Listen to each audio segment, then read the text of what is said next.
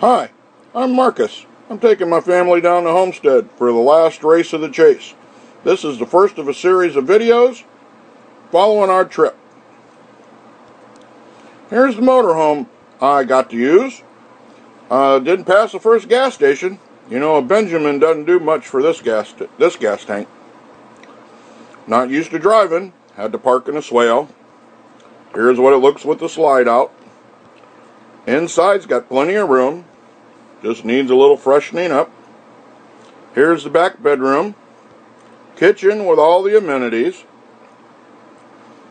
Of course, we got indoor plumbing. And we're able to take a shower inside. Over the next couple of weeks, we'll be adding more and more videos as we get ready to head for the chase. So follow us. Thank you and goodbye.